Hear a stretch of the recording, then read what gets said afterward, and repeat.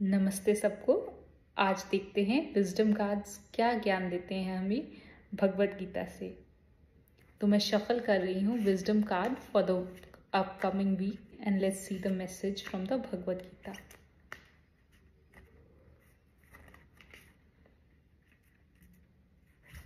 The card which comes out is freed from attachment, fear, or anger. So, what does Bhagavad Gita say? One who is not disturbed in mind, even amidst the threefold miseries. These miseries can be caused by living beings, supernatural forces, or even by one's own mind and body.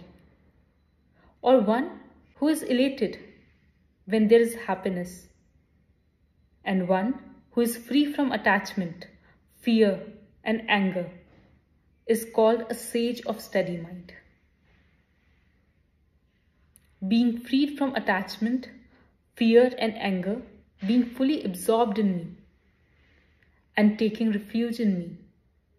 Many, many persons in the past have become purified by knowledge of me, and thus they all attained transcendental love for me. As all surrender, Unto me, I reward them accordingly. Everyone follows my path in all respects.